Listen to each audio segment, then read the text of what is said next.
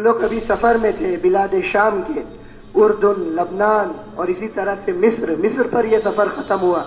सबसे पहले जो मुल्क था, उर्दुन, जॉर्डन, उस मुल्क में छत्तीस हज़ार साहबा की खबरें हैं। कितने हज़ार साहबा? छोटा सा मुल्क है। आप अम्मान से अगर उसका सफ़र शुरू करें और करक और गौर तक उसका सफ़र करें, एक हफ़्ता बजाय उस मुल्क में सफ़र के लिए बहुत काफ़ी है।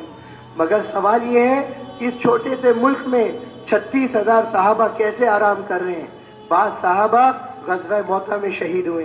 बाद साहबा गजवा यरमूक में शहीद हुए। और इसी तरह से बाद साहबा ताउन अमवात एक बीमारी निकली थी, उसमें शहीद हुए। और साहबा की कुर्बानियाँ कैसी? जरा तस्वुर तो करें दोस्तों बुज़ुर्गों। हम जैसे इंसान, हमारी जैसी नन्ही औलादे। हम घर के बाहर निकलते हैं। हमारे बच्चे, हमारी नन्ही औलादे इंतज़ार करते हैं, हमारे वाली साहब आएँगे, हमारे लिए हदिया लाएँगे, तोहफा लाएँगे। एक हसरतें होती हैं, एक आरज़ू होती है, एक तमन्नाएँ होती हैं।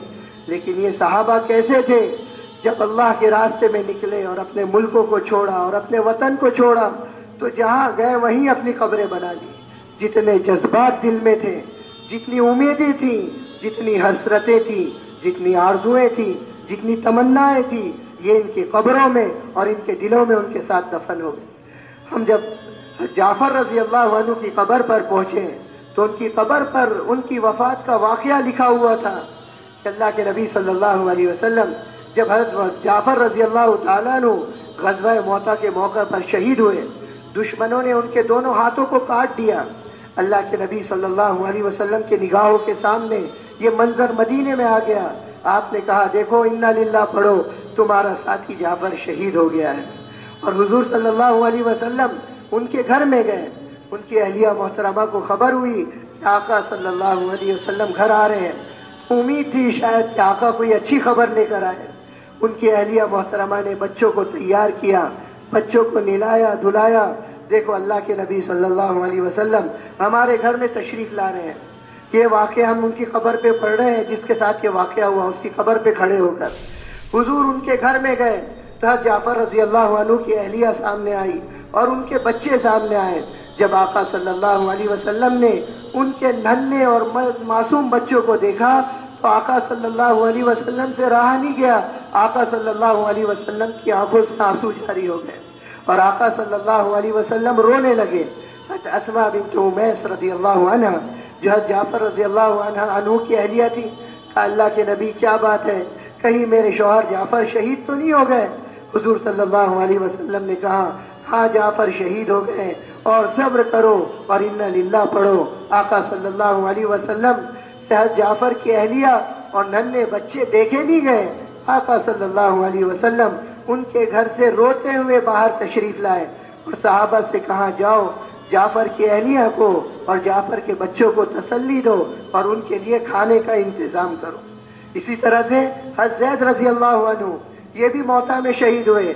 हुजूर सल्लल्लाहु अलैहि ने कहा कि देखो, मैं देख रहा हूँ कि जैद शहीद हो गया और अपने साथी के वफात पर, शहादत पर इन्ना लिल्ला पढ़ो। आप हजैद रज़ी अल्लाह के घर गए, हज़रत जैद के मासूम बच्चों को आपने देखकर रोना शुरू कर दिया। आपके साथ जो साहबी थे हत उबादा रज़ी अल्लाह का अल्लाह के नबी आप ये क्या कर रहे हैं? आपको तो हिम्मत दिलाना चाहिए, आप खुद रो रहे हैं। हुजूर ने फरमाया ए साथ मैं क्या करूँ कि सब्र नहीं होता? आज एक साथी हमारा हमारा करीबी साथी हमसे जुदा हो गया है, उसकी शहादत पर मुझे रोना आ रहा है।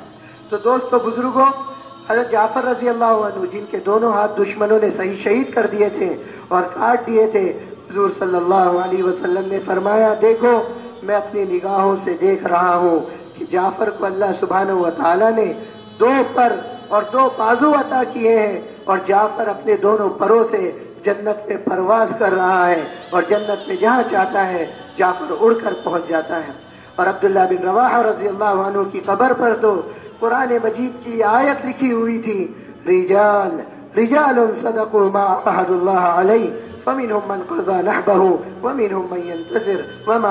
तब्दीला। देखो, ये है आदमी।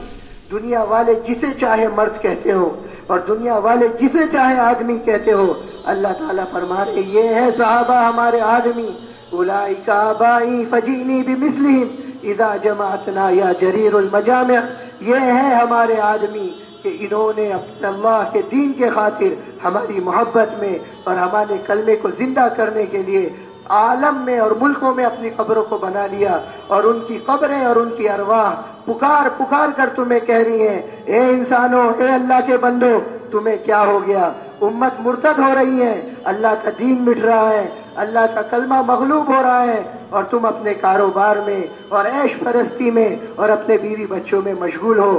निकलो अल्लाह के रास्ते में और अल्लाह के कलमे को और अल्लाह के दीन को बुलंद करो।